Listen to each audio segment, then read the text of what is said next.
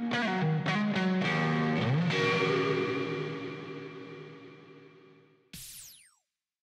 do think that the value of critical thinking mm-hmm. that comes out of liberal arts, knowing how to extrapolate that data and tell meaningful stories, um, for instance, is still a very big part of what we do. And, and we've all heard this our business is about storytelling, the magic of making someone feel something and want to do something, um, it, I think is incredibly powerful. I think what has been so great about the focus on data is the ability to sort of take that and either prove out mm-hmm. and and more importantly drive ROI for their business mm-hmm. leaders and the CMOs that are looking for results.